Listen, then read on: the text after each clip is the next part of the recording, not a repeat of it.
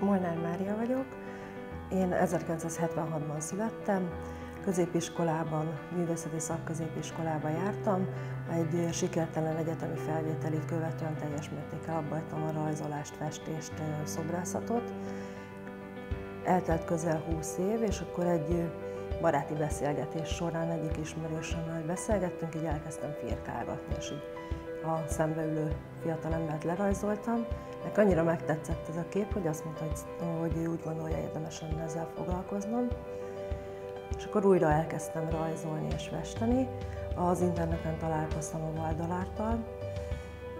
Akkor indítottak egy mentorprogramot, gondolkodtam rajta egy kicsit, és én a tantermi oktatásukat választottam.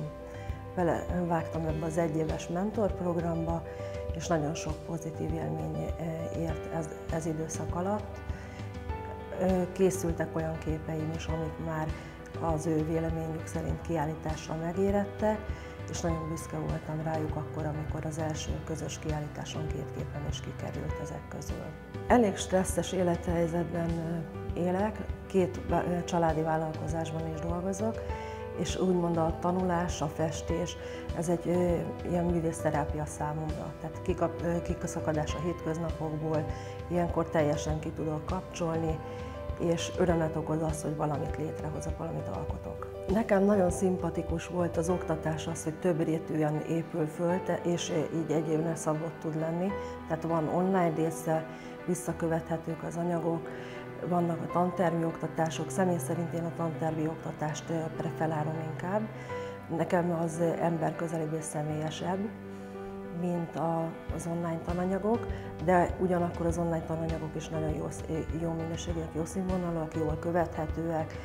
Itt a tantermi oktatás során folyamatosan biztosítják számunkra az eszközöket, akik részt veszünk ebben a programban, ami úgy gondolom, hogy nagy segítség, mert amikor elkezd valaki egy rajzolással, festéssel foglalkozni, nem biztos, hogy tudja, hogy melyik márka, melyik minőség, melyik az, az az eszköz, ami számára a legkedvezőbb, és ugye a művészellátók kínálatai azok viszonylag széles körűek.